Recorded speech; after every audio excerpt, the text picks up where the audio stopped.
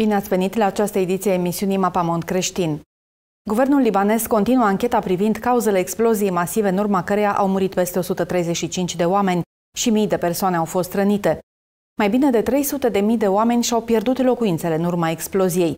Așa cum știți, țara s-a confruntat deja cu o criză economică severă înainte de această catastrofă, care este comparată cu tragedia din 11 septembrie. Potrivit lui Chris Mitchell de la CBN, oamenii din Liban sunt copleșiți. Primarul Beirutului vorbește despre catastrofă cu lacrimi în ochi.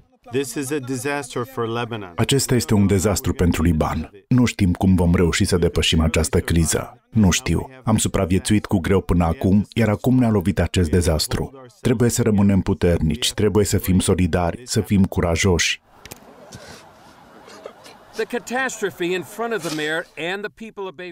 Catastrofa îl copleșește pe primar și pe locuitorii orașului Beirut. Această imagine aeriană arată amploarea distrugerii zonei portoare și a zonei limitrofe. Imaginile din satelit efectuate înainte și după explozie ne arată amploarea dezastrului. Țări din întreaga lume trimit ajutoare. Printre aceste țări se află Emiratele Arabe Unite, Rusia, Australia și Franța, care trimit bunuri, echipe de intervenție sau ambele. Israelul, vecinul Libanului situat la sud, a oferit ajutoare și și-a exprimat condoleanțele. Primăria din Tel Aviv a fost luminată în culorile drapelului libanez. Pe străzi, daunele sunt vizibile la tot pasul. Potrivit unui rezident al Beirutului, care a făcut o declarație echipei de știri de la CBN, anii de zile de distrugere provocate de război au fost comprimate într-o singură secundă. Libanezii din întreaga lume au fost afectați personal. Abdullah Daher din Statele Unite a pierdut un prieten care lucra ca agent vamal în port.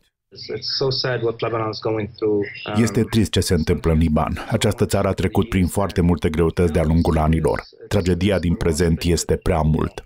Mai bine de 300 de mii de oameni din Beirut au rămas fără adăpost. Ei reprezintă în jur de 10% din populația orașului. În mijlocul haosului, misiunile creștine precum Triumphant Mercy dau o mână de ajutor.